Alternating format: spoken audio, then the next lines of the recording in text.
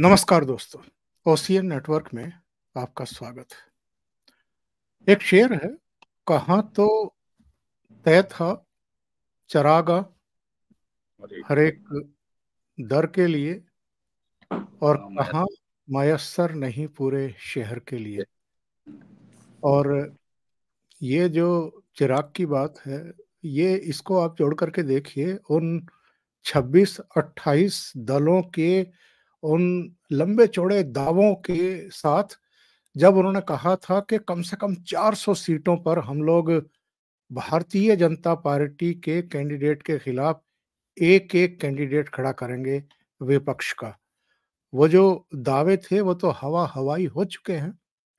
अब तो टुकड़ों टुकड़ों में कहीं कहीं जो इनके अपने पारिवारिक जो इनकी विरासत है या इनके जो गढ़ रहे हैं, उसको बचाने की कवायद भर दिखाई दे रही है। कांग्रेस ने अगर समाजवादी पार्टी से गठबंधन किया है उत्तर प्रदेश में तो कुल मिलाकर के अमेठी और रायबरेली की लड़ाई दिखाई दे रही है। इसके अलावा कोई उनको बहुत ज़्यादा उम्मीदें हैं या वो ये सोच करके सत्रह सीटों पर लड़ेंगे कि इनमें से 10-12 सीटें हम जीत लेंगे, ऐसा नहीं दिखाई दे रहा है। अरविंद केजरीवाल जो कभी अपने बच्चों की कसम खाया करते थे, ना भारतीय जनता पार्टी से कभी सहयोग लेंगे, ना देंगे, ना कांग्रेस से कभी सहयोग लेंगे, ना देंगे। अब वो कांग्रेस के सामने घुटने टेकते हुए दिखाई दे रहे हैं। जिस दिल्ली में वो कह रहे थे कि बस एक सीट की औकात है कांग्रेस की, वहाँ अब वो कांग्रेस को तीन सीटें देने को तैयार हो गए। इसी तरीके से हरियाणा की दस में से नौ सीटों पर कांग्रेस लड़ेगी। चंडीगढ़ की सीट भी अरविंद केजरीवाल ने कांग्रेस को दे दी, गोवा की भी दोनों सीटें कांग्रेस को दे दी। गुजरात की बस भड़ूच और भावनगर की दो सीटें और बाकी चौबीस सीटों पर कांग्रेस ही लड़ेगी। पंजाब में ज़रूर इन दोनों पार्टियों को गलत फहमी है। तो आज हम ये बात करेंगे कि आप नरेंद्र मोदी को केंद्र की सत्ता से हटाने की लड़ाई का एक जज्बा लेकर के 26 या 28 दल इकट्ठा हुए थे और चार शहरों में आपने यात्राएँ कर डाली थी, पटना, बेंगलुरु, मुंबई, दिल्ली। अब जबकि लोकसभा चुनाव की घोषणा बिल्कुल सिर पर है तो आप खड़े कहाँ हैं? और आप अपनी निजी लड़ाइयाँ लड़ रहे हैं सम्मान बचाने की लड़ाई लड़ रहे हैं या नरेंद्र मोदी को हटाने की लड़ाई लड़ रहे हैं? तो मेरे साथ बहुत ही वरिष्ठ पत्रकार और यूट्यूब पर, एक चैनल पर वो आजकल शाम छः बजे आते हैं। सीधी लकीर उसका नाम है, धीरेन्द्र पुंडीर हमारे साथ जुड़ रहे हैं। तो धीरेन्द्र जी को जोड़ करके इस चर्चा को आगे बढ़ाते हैं। धीरेन्द्र जी, बहुत स्वागत है। नमस्कार। तो ये बताइए साहब ये जो 400 सीटों पर भारतीय जनता पार्टी के खिलाफ एक एक कैंडिडेट खड़ा करने की बात थी वो तो हवा हो गई। देखिए ऐसी कोई बात सिर्फ़ अखबारों के लिए मीडिया के लिए और अपने लोगों के मनोबल को बनाने के अलावा बाकी कहीं नहीं थी। ऐसी चीज़ आपको दिखती है क्योंकि आ, कई बार जब हम लोग ये बात करते हैं कि क्या ममता बनर्जी इतनी उदार हो जाएँगी? कि वो पाँच, दस सीटें दे दे? इतने ज़्यादा उनके अंदर हो जाएगा। या आपको लगता है कि वो उदारता पूर्वक तरीके से यहाँ जीत की स्थिति में हो, अखिलेश और तब सीटें दे दें इतनी? क्योंकि 2017 के बाद, चुनाव के बाद तो यही कहा गया था कि हमने उनको, उनकी हैसियत से ज़्यादा सीट दे दी थी और वो समझ नहीं पाए थे। आपको लगता है कि कांग्रेस हरियाणा में उनको पाँच सीट दे देगी? ये दरअसल शुरू से एक प्रैक्टिकल राजनीति का जो एक तरीका होता है, उसके अगेंस्ट खड़े थे। ये लोग अपने अपने गढ़ अपनी अपनी नाक बचाने की आखिरी लड़ाई लड़ रहे हैं। क्योंकि जातिगत जातीय आधार पर बनी हुई पार्टियाँ कभी भी इस तरह का कोई कदम नहीं उठाती है, जिससे कि उनके उस बेस में कमी आ सके।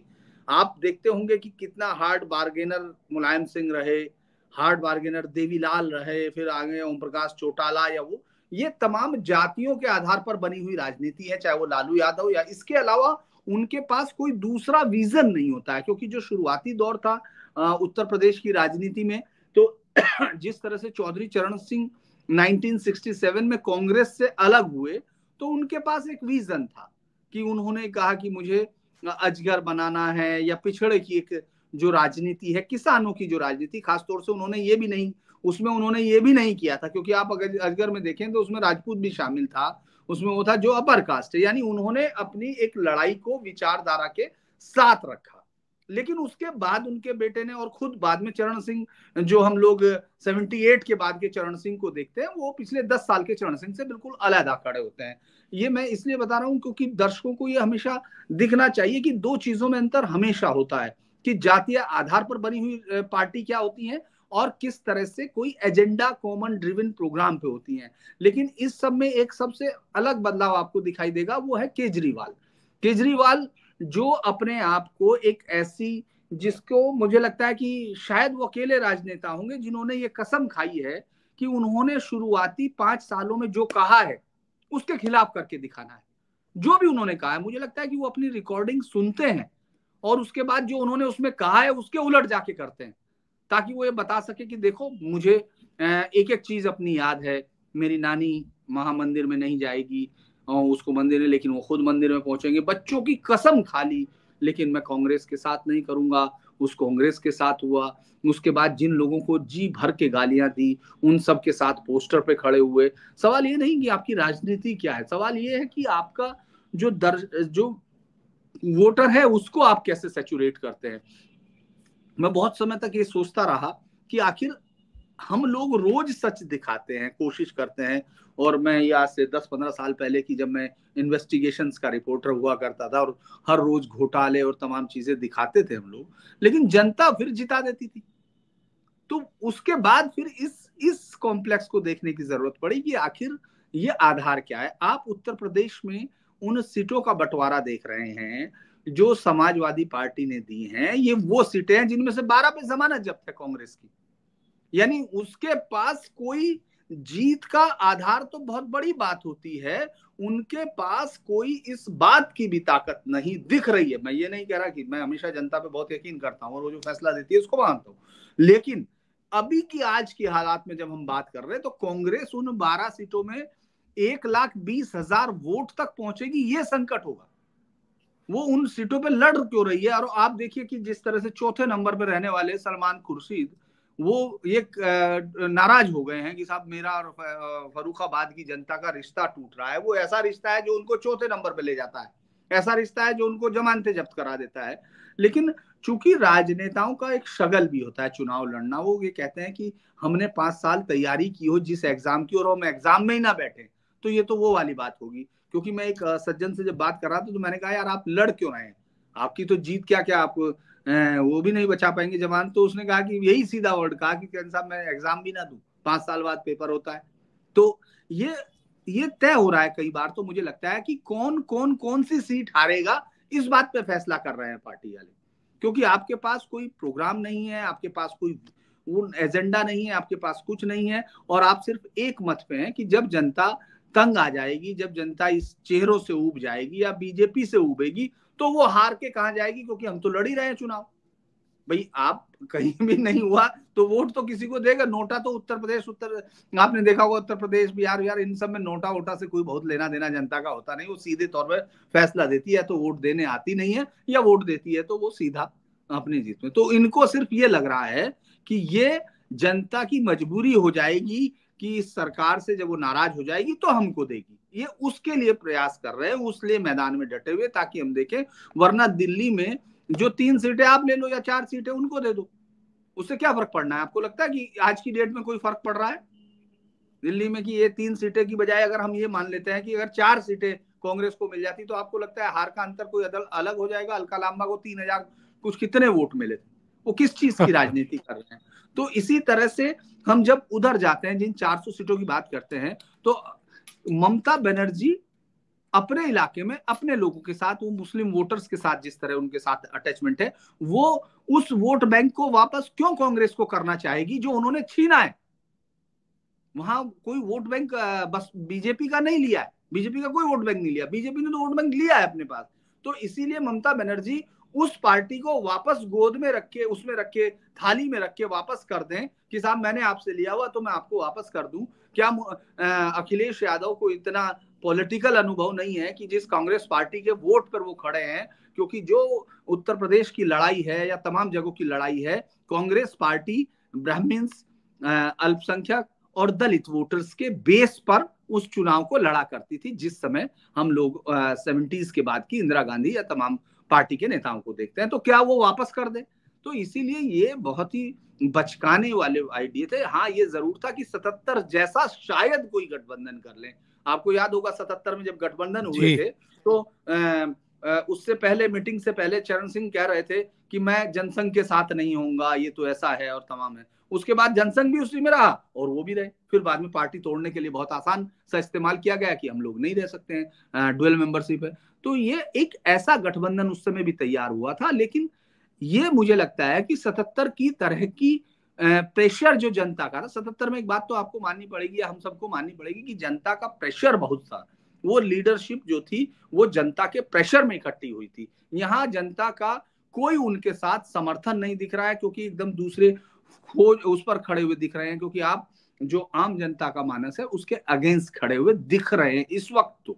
कम से कम आप चूँकि आप ये देखिए आज जैसे योगी आदित्यनाथ ने एकदम तुरंत फैसला लिया क्योंकि कल से ये बात लगभग हो गई थी कि ये कटेगी नहीं कि पेपर लीक हुआ है ये बात बिल्कुल साफ़ तौर पे क्योंकि ये भी है तो उन्होंने तुरंत एक फैसला लिया कि कैंसिल करो और साथ ही साथ छह महीने के अंदर करा दें। यानी ताकि एज की दिक्कत ना हो ना दिक्कत हो तो ये एक आ, मुझे लगता है कि संवेदनशीलता की निशानी होती है और चुनाव के वक्त इसकी बहुत ज़रूरत होती है। अभी तो आप ये देखिए, अभी जो चुनाव के लिए आज कल, आज जो तमाम समाजवादी पार्टी के विधायक बुला लिए गए लखनऊ में, उनको एक जगह रखने की बात है, फिर वो दूसरी पार्टियाँ तो हम लोग सिर्फ़ एक ऐसी चुनाव को देख रहे हैं जहाँ विपक्षी पार्टियाँ इस बात के लिए तैयार हो रही हैं कि उनको हराना नहीं है। उनको उनको किन किन सीटों पे हारना है, ये तय करना है। अच्छा उत्तर प्रदेश की अस्सी पश्चिम बंगाल की बयालीस। इन दोनों ही राज्यों में 2019 में त्रिकोणीय मुकाबला हुआ था।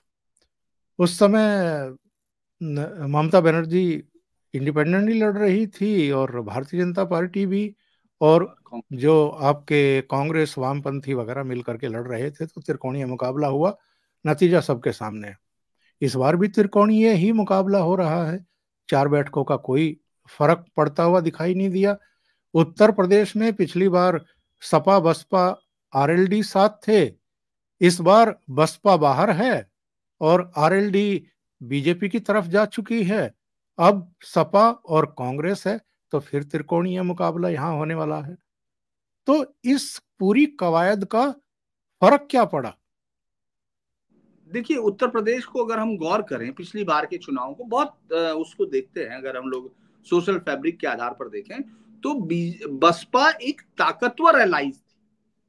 बसपा एक ऐसा एलाई थी जिसके पास अपना एक वोट बैंक आज की डेट में भी है। अगर वो अकेले भी लड़ती है आपने देखा होगा कि तेरह से चौदह परसेंट उसके पास अपना वोट बैंक है उसको आप अभी अभी वो छिज गया है लेकिन तेरह चौदह परसेंट वोट बैंक अभी जुड़ा हुआ है। लेकिन कांग्रेस बारह परसेंट तो अभी भी है उसके पास बारह हाँ, तो वही वही मेरा वही मेरा मानना है कि तेरह चौदह परसेंट उसके पास ऐसा वोट बैंक है जो उसके साथ कमिटेड है। लेकिन कांग्रेस के पास क्या है उत्तर प्रदेश में? टू पॉइंट नाइन सेवन वो क्या देगी? तो इसीलिए उस त्रिकोणीय का नुकसान ज़्यादा है क्योंकि बसपा अपनी वोट को लेके रहेगी। अपनी वोटों को वो हो सकता है कि कुछ नीचे जाए, कुछ ऊपर आ जाए। ये भी हो सकता है क्योंकि इस बार वो टेक्टिकल फिर दोबारा से जो एक आपने देखा होगा कि एक स्पेसिफिक होता है, वो दलित प्लस मुस्लिम वोटर्स का और प्लस जातिगत समीकरण, मुझे लगता है इन सब लीडर्स में मायावती बहुत अच्छे से पहचानती हैं। जिस जातीय गणित की ये बात करते हैं, उसमें मुझे लगता है वो इनके लिए ज़रूर परेशानियाँ खड़ी कर देंगी। ये इसीलिए ये तीसरा गठक आपको यूपी में तो ज़रूर दिखेगा, क्योंकि पिछली बार कांग्रेस अलग लड़ी थी, एक छोटी सी पार्टी के साथ वो थी, लेकिन कांग्रेस के पास कुछ था ही नहीं। तो इसीलिए वो ज़्यादा ताकतवर गठबंधन था, अगर बीजेपी के खिलाफ था तो पिछली बार की स्थिति बीजेपी के खिलाफ सबसे खतरनाक अगर स्थिति हो सकती थी, सबसे सॉलिड गठबंधन जो हो सकता था, वो कर चुके थे पिछली बार। लेकिन उसके बावजूद वो बीजेपी को बासठ सीटें लेने से रोक नहीं पाए थे। 49 समथिंग तक बीजेपी का वोटर था या लगभग 50 परसेंट वोट था। और अगर बीजेपी उसमें एक दो परसेंट बढ़ा लेती तो आप चाहे कितने भी वोट ले आप तो जीत रहे हैं। दूसरा क्या है कि आप इस पे एक और गौर कीजिए कि जो हम कश्मीर, जो आरएलडी को देखते हैं, आरएलडी मुजफ्फरनगर सीट पर चरण अजीत सिंह जो है, खड़े हुए और बहुत ताकत से चुनाव लड़ा गया। तब लड़ा गया जब तीनों पार्टियाँ थी। आरएलडी के बहुत सारे बयान इस तरह के होते हैं, जैसे वो बहुत बड़ी ताकत है या वो अखबारों में आपको ज़रूर दिखेगा, लेकिन वो कभी ताकत नहीं है। मुजफ्फरनगर में कभी किसी सीट पर वो जीतती नहीं है। खुद उन्नीस सौ इकहत्तर में चौधरी चरण सिंह चुनाव हारे। ठाकुर विजय पाल सिंह से पचास हज़ार वोटों सीपीआई से लड़े। लेकिन इसके बावजूद वहाँ सपा और बसपा ताकत है, अगर विपक्ष की बात करते हैं। तो वो दोनों पिछली बार एक थे। आरएलडी इस बार वहाँ से तो आरएलडी का वोट वहाँ से साथ में जाएगा, जो भी वोट है उनका, वो ज़रूर है। इतना वोट ज़रूर होता है कि वो जीत के अंतर को बढ़ा देगा। आप अमरोहा में इस बार चेंज देख लेंगे तो जो यूपी का चेंज है, जो थर्ड फ्रंट है, वो इस बार ज़्यादा नुकसानदेह है विपक्ष के लिए। क्योंकि मायावती अपना वोट लेंगी, उसमें कोई बदलाव कोई है ही नहीं। और उतने वोट के जाने के बाद मुझे नहीं लगता कि जो योगी आदित्यनाथ है, उनके काम पे जनता जो है, कोई नाराज़गी हो या कुछ हो, लगातार जिस तरह से लॉ एंड ऑर्डर का सवाल है, उस पर वो ठीक है। बाकी विपक्षी तो अपनी कहानियाँ सुनाते ही हैं, लेकिन उसमें कहानी सुनाने के पीछे सिर्फ़ जातीय गणित के अलावा और कोई शब्द नहीं होते। वो तो उनके कुछ लोग लिखते हैं, वो मीडिया के आजकल लोग आप देखते ही हैं कि तमाम लोग आजकल वो आइडिया दे रहे हैं। लेकिन बंगाल का उलट मामला है। बंगाल में उस तीसरे गठबंधन का इसलिए भी कोई मतलब नहीं है, क्योंकि पिछली बार अगर आपने देखा होगा कि विधानसभा में पूरा का पूरा जो मुस्लिम वोटर्स है, यहाँ तक कि मुर्शिदाबाद, मालदा और ये सब जहाँ अधीर रंजन चौधरी या उससे पहले प्रणब मुखर्जी या अब्दुल ए बी गनी खां हुआ करते थे, उन सबसे पूरी तरह से जो मुस्लिम वोटर्स है, वो टीएमसी पे शिफ्ट कर चुका, टीएमसी के पास। तो कांग्रेस के पास या उसके पास उस लड़ाई में कोई फ़ायदा नहीं है, वो एक फुरफुरा शरीफ के उसको देखा था पिछली बार की मुस्लिम वोट, वो भी साफ़ हो गए। क्योंकि देखिए किसी भी मुस्लिम लीडर से बड़ी ताकत ममता बनर्जी है, क्योंकि मुस्लिम को मालूम है कि उनके दम पर कोई उनका लीडर वो चाहेंगे तो अपना खड़ा ज़रूर करना चाहेंगे। इच्छा ज़रूर होती है, क्योंकि आपने देखा होगा, पिछली बार के चुनाव में बिहार में जब पूर्वांचल में एक संवाददाता पूछ रहा था तो उन्होंने कहा कि जब जब हम जिन सीटों पे हम अपना उम्मीदवार जिता सकते हैं, यानी मुस्लिम उम्मीदवार जिता सकते हैं, वहाँ हम अपने को देंगे।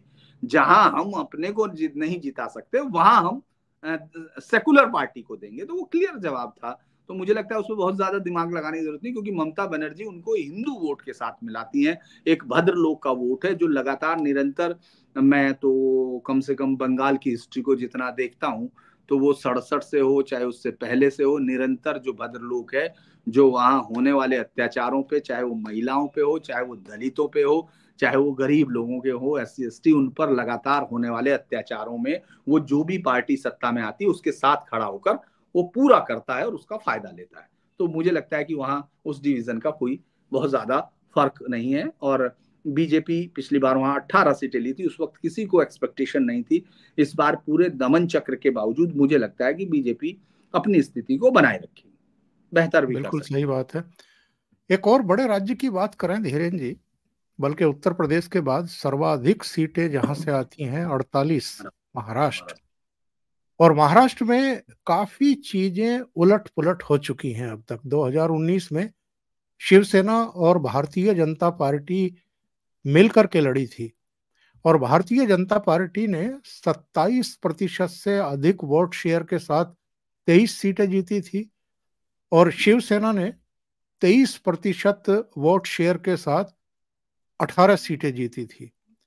यानी इन दोनों ने ही 41 सीटें जीत ली थी और बाकी एनसीपी को चार मिली थी एक कांग्रेस को मिली थी एक असदुद्दीन ओवैसी की पार्टी को मिली थी एक इंडिपेंडेंट जो आपकी अमरावती से जीत करके आई थी। तो ये कुल मिलाकर के वहाँ पर सिचुएशन थी लेकिन एनसीपी टूट चुकी है। शिवसेना टूट चुकी है बल्कि दोनों पार्टियों के मालिक अब और हैं, शरद पवार और उद्धव ठाकरे के बजाय। तो क्या सिचुएशन इस समय आप महाराष्ट्र की देख रहे हैं? महाराष्ट्र में तो इस बार अगर हम कहें तो कई कोणीय मुकाबला होता हुआ दिखाई दे रहा क्योंकि वहाँ सीटों को लेकर के अभी तक जो बची खुची पार्टियाँ हैं, शरद पवार की, उद्धव ठाकरे की और कांग्रेस, वो तो सिर्फ़ उटव्वल कर रही हैं, सीटें बट नहीं रही हैं। अशोक चौहान कांग्रेस छोड़ गए, मिलिंद देवड़ा कांग्रेस छोड़ गए, उधर अजीत पवार जो है वो अपने चाचा से बगावत करके चले गए।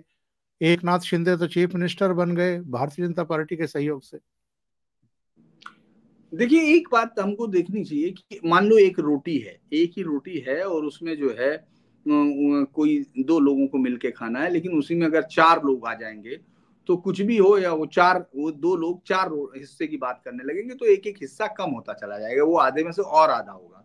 अगर हम एनसीपी की बात करें पूरे महाराष्ट्र में तो एनसीपी भले ही इमोशनल अपील के नाम पर आज भी जो अंग्रेज़ी अखबार है या जो शरद पवार को इस देश का चाणक्य लिखते रहे, अघोषित राजनीतिक चाणक्य जो थे, जो कभी भी अपने राज्य के बाहर कोई ताकत नहीं रहे या जिनका कोई भी कम से कम हिंदी बेल्ट या नॉर्दर्न बेल्ट में जिनकी कोई अपील कभी नहीं रही पूर्वोत्तर में कभी अपील नहीं रही साउथ में कोई अपील नहीं मैं पाठकों को बताता चलूँ कि एनसीपी का जो वोट शेयर था पिछले लोकसभा चुनाव में वो 15.7 परसेंट था और कांग्रेस का 16.4 था। और कांग्रेस तो भले ही साबुत है लेकिन एनसीपी का जो 15.7 प्रतिशत था इसमें बंटवारा होने वाला है। और जो शिवसेना का तेईस दशमलव पाँच प्रतिशत वोट था, उसमें भी बंटवारा होने वाला है। वही मैं आपको दर्शकों को बता रहा था कि अगर आप गौर करते हैं कि भले ही जारांगे को आगे करके या जो एक पिछड़े को मराठा वोट को एकजुट करने की बात है तो आप देखेंगे ऊपर ज़रूर है कि लेकिन वो मराठा वोट कितने हिस्सों में बढ़ता है?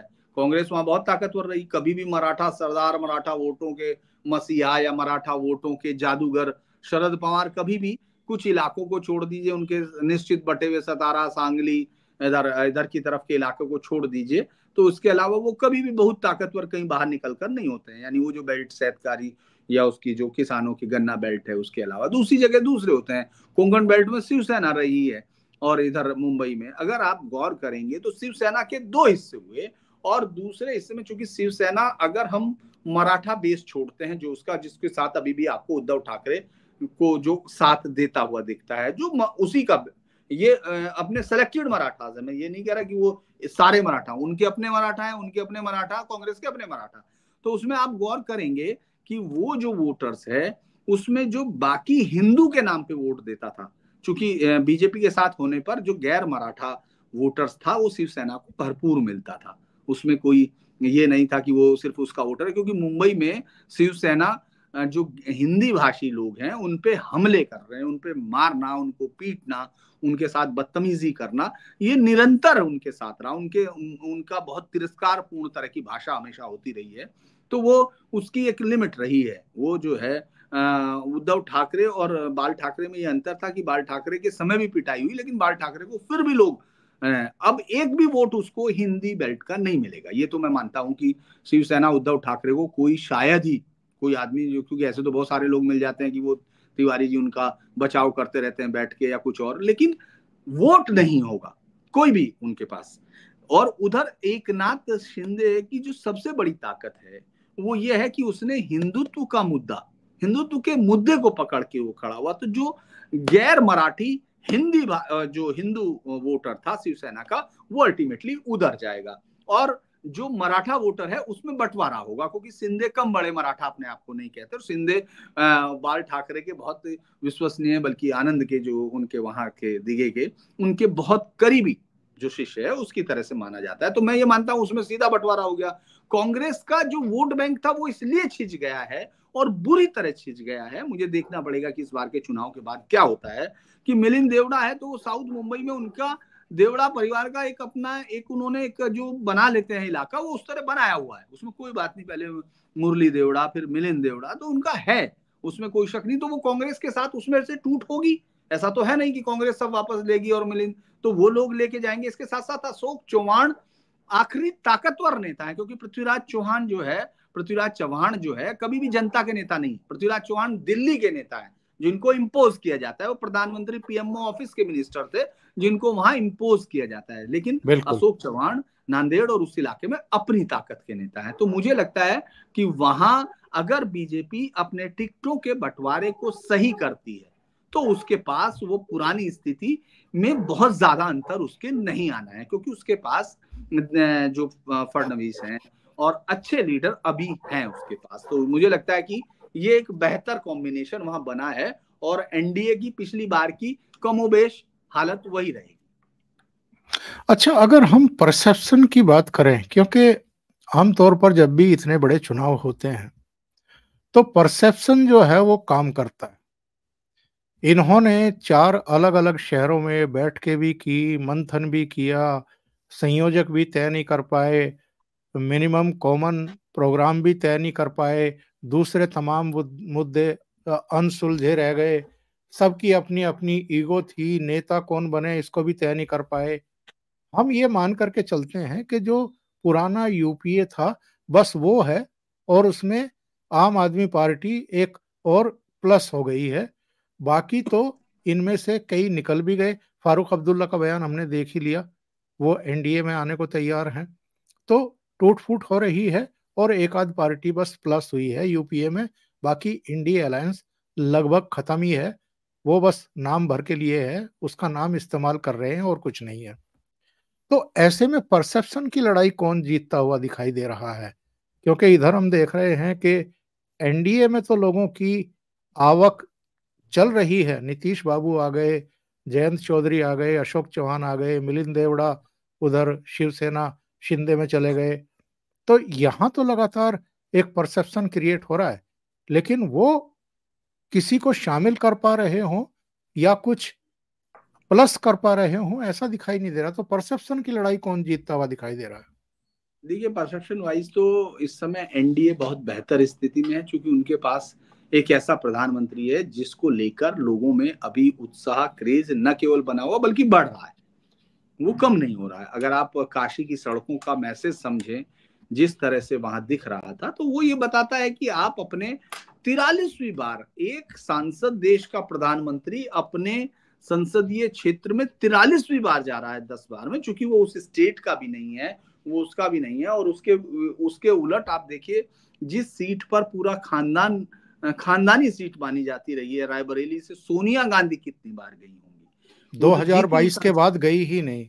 और और उसी तरह से आप अमेठी में देखिए राहुल गांधी हार के बाद कितनी बार गए हैं। और प्रियंका गांधी 2022 की हार के बाद कितना गई हैं। तो जो परसेप्शन की लड़ाई है वो इसलिए भी बनता है परसेप्शन क्योंकि आप मेहनत करते हुए दिखते हैं। एक ऐसा मुख्यमंत्री, बड़ा इंटरेस्टिंग निर्मला, मैं सीतारमन को सुन रहा था तो उन्होंने जो बात कही, मुझे लगता है कि पत्रकारों को भी कई बार पॉलिटिशियंस के होमवर्क पर ध्यान देना चाहिए। उन्होंने कहा कि पिछहत्तर ज़िले हैं और वो दो या कितनी बार मतलब उससे ज़्यादा बार वो अलग अलग जगह जा चुके हैं। उन्होंने एक बहुत अच्छा डाटा दिया। तो मैं वाकई सोच रहा था कि एक मुख्यमंत्री के तौर पर इतना जगह जाना लगातार जाना आप अभी देखिए अभी यहाँ है फिर गोरखपुर है फिर सीतापुर है तीन तीन एक एक दिन में वो अलग अलग ज़िले। तो एक मुख्यमंत्री इस तरह मूव करता है जानता है चूँकि आप भले ही कुछ भी छिपाएँ ब्यूरोक्रेसी हमेशा छिपाने पर यकीन रखती है और वो सबसे बड़ा गड्ढा होती है किसी भी सरकार के लिए चूँकि जनरली वो आ, किसी भी वो यथास्थिति बनाए रखने की कोशिश करती है। वो कभी भी चेंज आने के खिलाफ सबसे ज़्यादा काम करती है और राजनेताओं को डुबोती भी वही है। लेकिन आप ये देखें कि अगर आप कितना ही छिपाएँगे, लेकिन अगर मुख्यमंत्री लगातार जा रहे हैं तो वो पकड़ लेंगे। उनको लोग कोई ना कोई मिल जाएगा। तो परसेप्शन ये है कि बीजेपी काम करती हुई दिख रही है। अपने फ़ील्ड में साथ ही साथ एनडीए जो है, उन लोगों को जोड़ रहा है। हालाँकि देखिए, इसमें से कुछ चीज़ें ये भी है और ये परसेप्शन है। इसमें कोई शक नहीं कि बीजेपी के पास एक वो लॉन्ड्री है जिसमें जो भी आता है, उसके कपड़े धुल जाते हैं, वो साफ़ हो जाता है। इसमें कोई शक ये है, लेकिन जनरली पब्लिक अभी उसको सुन रही है, उसके नेताओं पर यकीन कर रही है। ये बड़ी चीज़ होती है, क्योंकि आप तो सभी, चूँकि जब इधर आ गए नीतीश कुमार तो अचानक नीतीश कुमार कम्युनल हो गए और अचानक उनमें सब कांटे उगाए। जब तक वो वहाँ बैठे थे, तब तक नीतीश कुमार बहुत बड़ा काम कर रहे थे। तो वो तो एक पॉलिटिकल है, हम लोग इस बात को जानते हैं कि इसका उनके वोटर्स पर कोई असर नहीं पड़ता। तो परसेप्शन में एनडीए काफ़ी आगे है। यहाँ तक कि अभी ये चर्चा थी, उन्होंने बातचीत अभी शायद मुझे लगता है कि नहीं हुई। कंक्लूड नहीं हुई जो अकाली दल के साथ थी और शायद बीजेपी इस बार पहली बार पूरी तरह से लड़ने की सोच रही है कि उसको लड़ेगी मतलब जिस भी तरह से अपना देखेगी कि बिना अकालियों के पिछली बार जिस तरह से लड़ाई हुई तो मुझे लगता है कि उसमें देखें कि बाकी तो परसेप्शन वाइज तो ये आगे हैं ही, क्योंकि उनके पास परसेप्शन है ही नहीं। अब आप ये सोचिए, राहुल गांधी उत्तर प्रदेश में सभा कर रहे हैं एक यात्रा निकाल रहे हैं और प्रियंका गांधी अब पहुँचती हैं और उसके बाद आगरा में शायद अखिलेश जुड़ेंगे।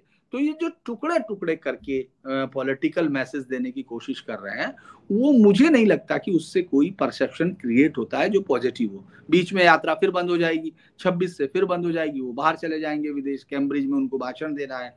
तो आपको जो 24 घंटे राजनीति करने वाले लोग हैं, उनके सामने इस तरह का अप्रोच नहीं चलता है। धीरेन जी बहुत बहुत धन्यवाद। आप जुड़े और बहुत महत्वपूर्ण मुद्दों पर आज आपने चर्चा की है। Thank you so much ji, नमस्कार।